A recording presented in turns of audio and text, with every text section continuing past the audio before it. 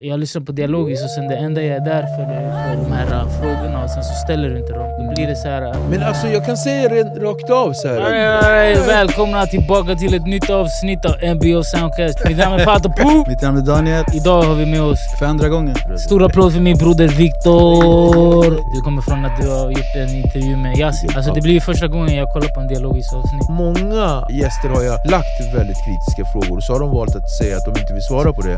Det blev konstigheter, han åkte in på kåken och när han åkte in så skarvade det. Det kan bara han få avgöra. Man ser på honom och så...